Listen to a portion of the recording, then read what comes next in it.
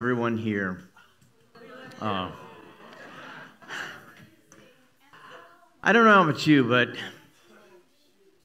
I'm done. I'm done with all this stuff. So, my talk title is Does It Matter? Does it matter? Isn't that the question that we always ask ourselves? I know th- th- some things matter to me and other things don't.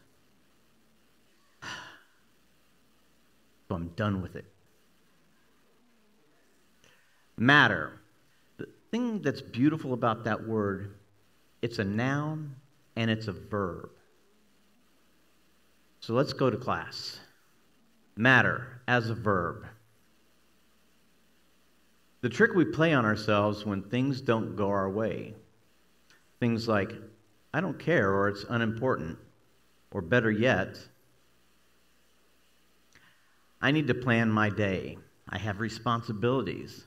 My time will come. These are games that we play in our minds. I know I do. Can any of you relate to that?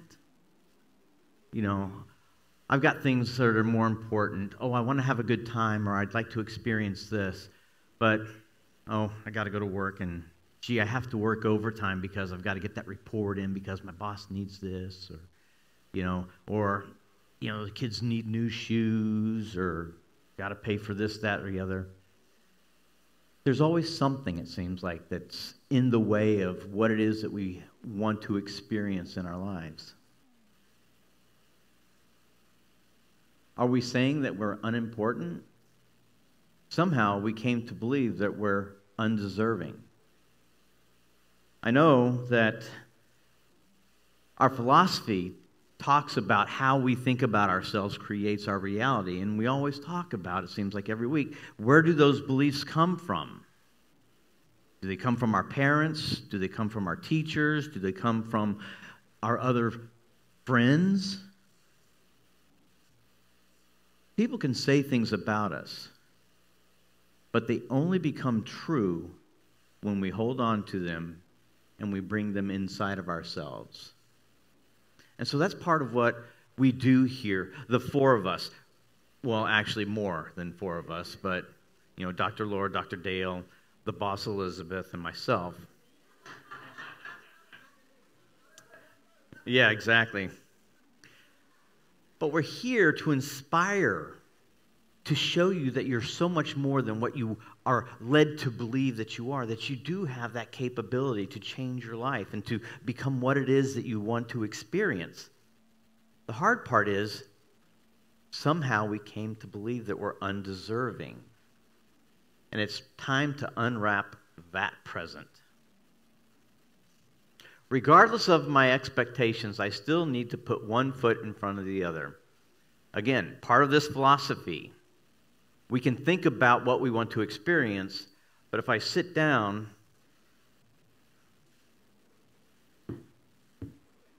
nothing's going to happen. I've got to get up. Not somebody else, me, you. You're the one that has to get up and move your feet to create that reality. Yes, the opportunities are there, but without my interaction with the Spirit, with this universe, nothing can be created. And so it's that mindset that we're here to. We can no longer be a victim. We have to be that creator because we are nothing less than the Spirit. That divine creation that we all talk about, regardless of your faith or your background, we're all talking about and, and giving honor and paying homage to that divine ideal that there's something greater than what we are here that we work in partnership with. We are not the victim. We are the co creator, like Dr. Dale just said. How you think about an event can change the energy around it. There's a lot of stuff going on. And we talk about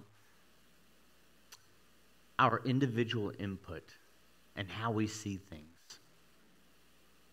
And this sanctuary, this sacred space, we talk about loving thy fellow neighbor. Those two songs that we have sung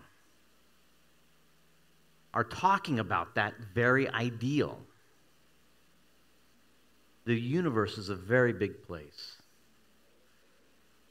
Spirit, planets, universes, and even beyond that. But there's also the infinitesimal. No matter how far we can go small, we can always go half as small as that. So there's this dynamic range that is incomprehensible, but it's still one power, one ideal, one life. I know that the faith within me now neutralizes all doubt. This is a scientific use of a mental statement. There must be no compromise with the consciousness. Talking about divine right order, I'm getting a little bit of a ring down there, so I'm going to stay up on stage. The universe is one thing happening at all time, in all places. So this just happens to pop up on my computer as I'm doing my talk.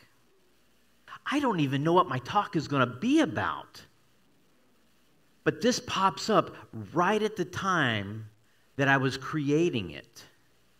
That divine ideal. Again, the universe is showing clues that it's there. It's listening and wanting and waiting to create based upon our thoughts our thoughts, not somebody else's thoughts, not some other place. It begins right here within each and every one of us.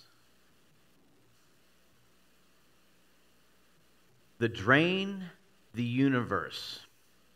Energy is organized. Take a look at those two photos. Do you see something in common between those two? The universe is intelligent. I'm doing dishes and watching the water go down the drain, but yet I'm seeing the universe. It's the same pattern. So if you think that life is chaotic, that it's unorganized, that it doesn't make sense, try doing the dishes. And you will see the universe in life the micro and the macro. That dynamic range that is spirit. It's how we think about life, how I think about my own life, how you think about your life. The universe always says yes with that statement is there a victim? No, there's an experience. Matter, a noun. That is the physical reality of what we are here. This chair, this stage, this light. You as this vehicle. It's matter. But does it matter? That's the question. Does it matter? That's the same sentence. The only difference is the first does it matter? The it was lowercase. Does it matter? Capital I, meaning spirit, God, the universe, infinite power. Does it matter? That's a great question. The answer is yes, emphatically. Because all matter is nothing less than the body of that divine ideal, that divine energy. So now we're talking about spirit as a noun as opposed to spirit as an action. Ooh, fans in the way. I got to come down a little bit. Life is created from a mental outpicturing. It is impossible to create form without the mental equivalent, so the statement, does it matter, is true. The thought must come first before form can materialize. The thought becomes the thing. Here's where the rubber meets the road. And this is why I'm done. How can your life, how can my life be positive, be uplifting, expansive, when I can't even get along with my neighbor? We pray all the time, sending my love over the mountain, talking about over in Europe and the other side of the world and all of that stuff. And I don't understand why they can't get along. What are you talking about, people? I'm so done with this. You can't even get along with our neighbors. Oh, well, he didn't, he, he put something in his yard and it's not approved by HOA, so I'm going to go, go tell the HOA and get them in trouble because I don't like what they did. Oh, God. I knew I shouldn't have bought that HOA. But the beautiful thing is that as we're here in this room, fine. I've made the mistake of judging or looking at somebody else different because they don't have the same ideals that I have. But I'm smart enough that when I come to this place,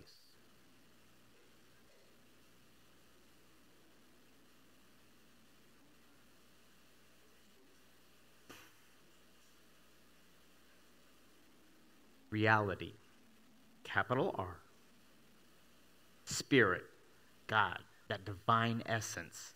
I am filled with that ideal. I am filled with that type of love. So I can drop the relative and know that my neighbor, whether it's next door or whether it's on the other side of the planet, is a human being worthy of my love. And the only way to get peace is it has to start with me. So this day, with all the music that we have, including the karaoke,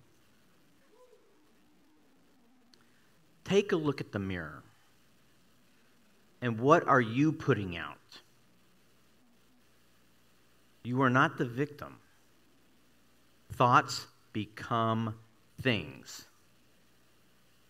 The seed put into the soil becomes the plant. It's not the other way around. Well, you know what I mean.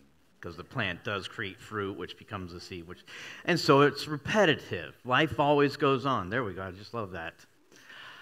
Ah, the proper state of our mind is the utmost important. Here we go. Remember that the innermost beliefs back behind feelings are very creative. Are you giving the law, which is the portion of spirit that creates the thing? The thought becomes the thing. Pure energy, or is it the energy tainted with relative ideas? Are your beliefs coming from spirit or are they coming from the news? Ask yourself that question. Where is your reality, capital R, coming from? Maybe it's time to get out into nature to see the patterns, just like the drain in the universe, the patterns of the leaves. Go hiking and look at the beauty, but see it from the standpoint of recognizing that everything is God in action. See the hidden patterns in front of your face. Every single one of us are different. Every single face is different, but yet we have hands, we have arms, we have the bones that articulate, that are in the exact same place in each of our bodies. We are the same more than we are different. Because I tell you what, our minds are spirit.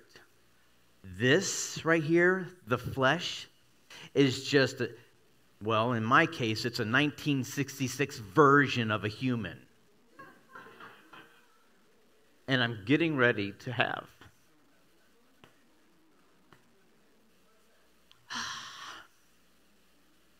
I love life. Getting ready to be a granddad.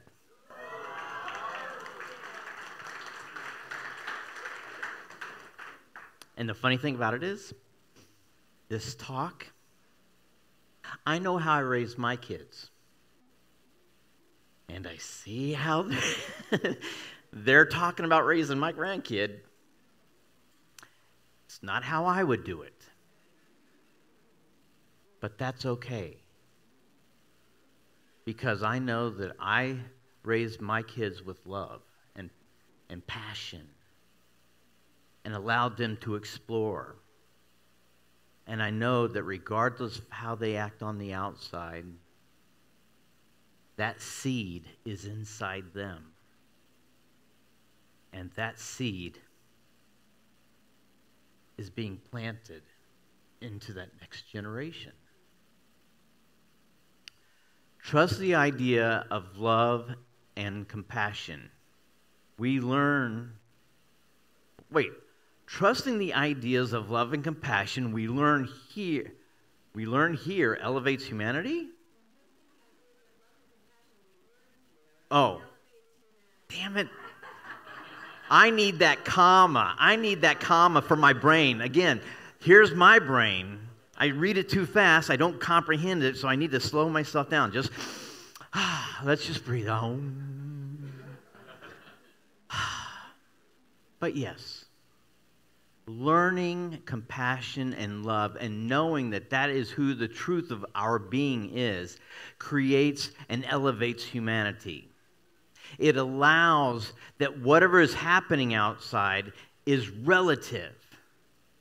It is through our understanding of this principle that we are God in action and that it is how I view the world.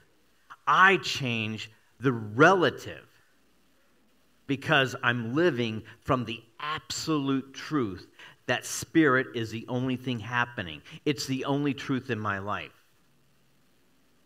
Knowing that the universe is always acting upon itself, so life must be unfolding perfectly. Damn, I love it when I do it right. It may just seem illogical from our vantage point. I mean, look at this chaos that we've been talking about and, and, and Dr. Laura talked about it means nothing. We are everyday people. It's a bright, sunshiny day. Right now, some of you might be listening to those, those songs and going, What the heck are they talking about? Because I feel down here. Well, you're the director of your life. See the patterns of spirit in action, regardless of the relative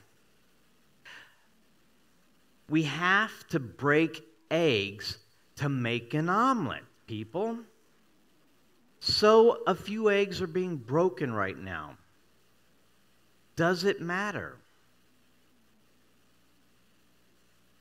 It all matters because it matters.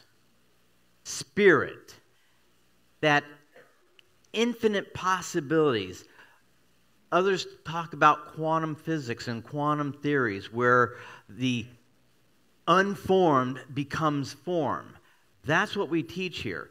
Our thoughts, the mental equivalent of what we think about our life, spirit is there going, okay, I can do that. Remember, we are the only directors of our own movie. Spirit is only the stagehand and only creates the set. We're not victims. You're the director. How do you like your life? You don't like it? Well, you're not the victim, you're the director. Change your movie. Is it a comedy? Is it a sad movie? Or is it a horror movie? If you don't like it, change it. But if you like it, keep thinking what you're thinking.